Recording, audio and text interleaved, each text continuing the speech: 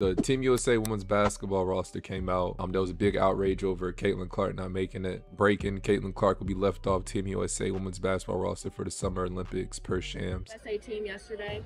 The roster come out? Yeah, I think uh, I'm excited for the girls that are on the team. Um, I know it's the most competitive team in the world, and I know it could have gone either way of me being on the team, me not being on the team. So, um, you know, I'm excited for them. I'm going to be rooting them on to, to win gold. Um, I, I was a kid that grew up uh, watching the Olympics.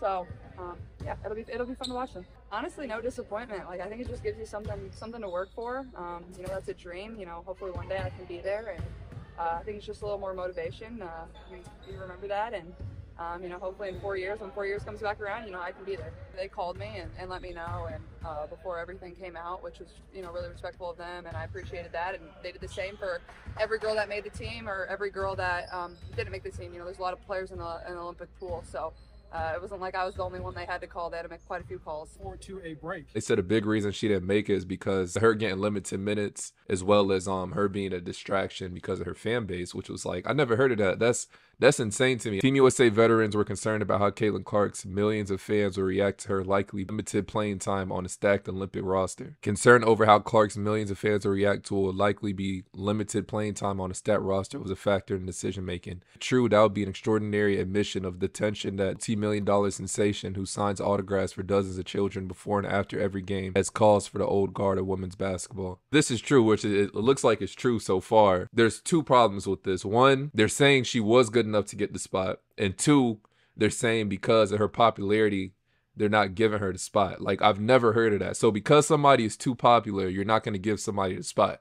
Like what the that's that's crazy. Even if it's limited minutes, right? From a business aspect, you would think that like, okay, look, this is an up and coming star. Look what she's done for women's basketball. She's someone we have to put on the roster. Looking at the roster, put you put Caitlin on there because people are gonna watch. The fact that like they they were willing to offer the spot but they said, "Oh, we're not gonna give it to her because we're worried about how her fans will react." Can't be preaching we want growth on one hand, and then when when there's a talent like Caitlin Clark who's who's coming into your lead, who can help your lead grow, you have an opportunity to put her on the roster, which is gonna bring more eyes to USA women's basketball as well as continue growing the game. And you don't even give her the opportunity to, you know, like that's just this is unfair to me, especially if the opportunity was present. Lisa Leslie said that. She said, I don't know how you lead the country without her. I guess we'll find out. What an incredibly missed opportunity this is to grow the game of women's basketball. Clark would have brought countless eyeballs, reporters, coverage, interest, as she did in the NCAA and now the WNBA. The public hasn't cared about the WNBA women's basketball as a whole for decades. Historically, attendance numbers, TV ratings for both NCAA and WNBA show that women's basketball has a player in Caitlin Clark that is must see TV. More people watch women's Final Four than the men's Final Four.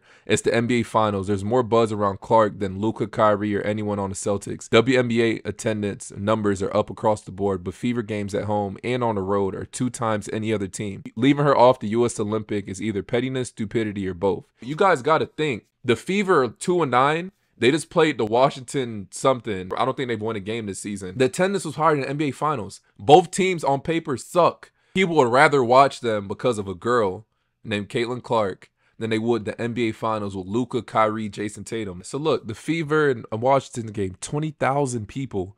The NBA Finals game one, 19,000 people. A girl's bringing them type of numbers in. Couldn't even give her a slot. And you got, and I feel like USA, you know, we're being honest. I think USA is going to win regardless. But like, it's just a missed opportunity business wise. You guys been preaching like you want more eyes on your game. You have somebody who's bringing more eyes for everybody. Like, that's just dumb to me, in my opinion. This is what the Barstool owner said. How dumb are these women? How dumb? I don't know who's making the decision, Women's Olympic Committee, whatever it is. I don't care if you don't think Caitlin Clark, talent wise, belongs on this team, even though she does put up 37 to 13, like the most points in the history of the league for a rookie. I don't, none of it matters. These women, and I love women, I'm a pro woman guy, women guy. They complain and they cry about equal rights, equal wages, blah, blah, blah, blah. Hey, dummies.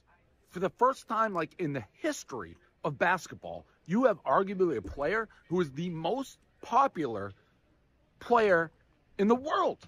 Like you could argue right now, Caitlin Clark is the most talked about, discussed, most popular, most puts asses in the seats, single basketball player in the world. You could argue that.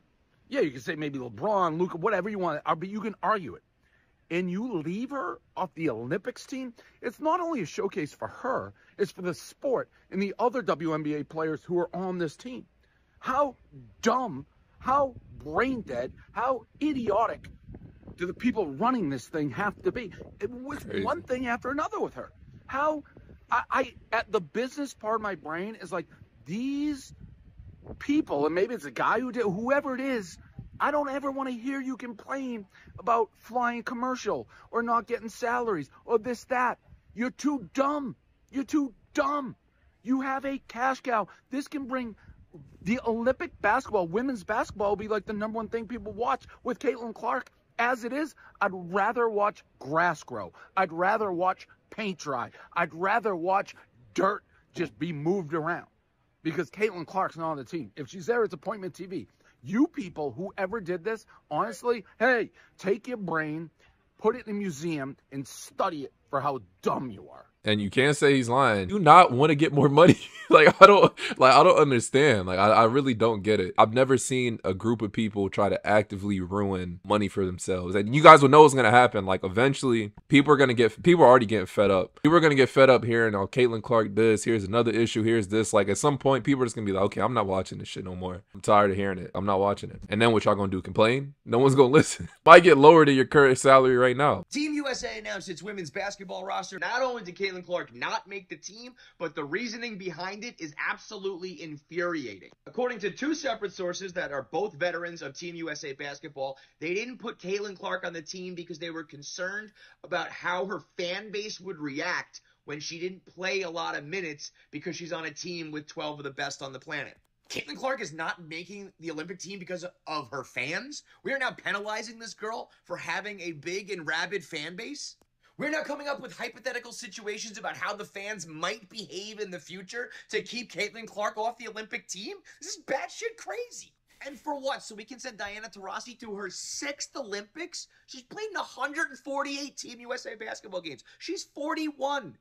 Legacy cemented. It's time for her to hang them up and let this new sensation shine on a global platform. Especially when you're talking about the Olympics, where it's about the sport and the competition and spreading the game globally. Who better to spread it to the little girls all over the world than the woman who's doing that better than anybody else ever has? If goddamn Christian Laettner can stand next to MJ and Magic Johnson on the Dream Team, we can find room for Caitlin Clark on the 2024 Olympics team. Because if it's about celebrating the sport, you're sending the most exciting player on the planet. If it's about sending your 12 best and winning, I don't think you're sending a 41 year old veteran. This is a group of players and coaches who wanted to grow the game when they thought they were going to be the ones to grow it.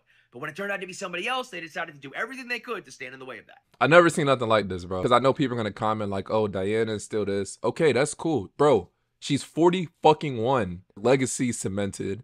She has nothing else to. prove. she's played. You saw the guy. She's played in 148 games.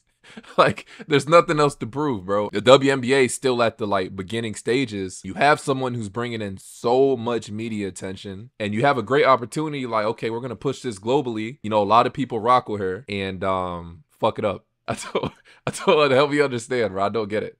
You know, like I really don't get it. It's crazy. But y'all let me know your thoughts on that. And um, as always, it's your boy.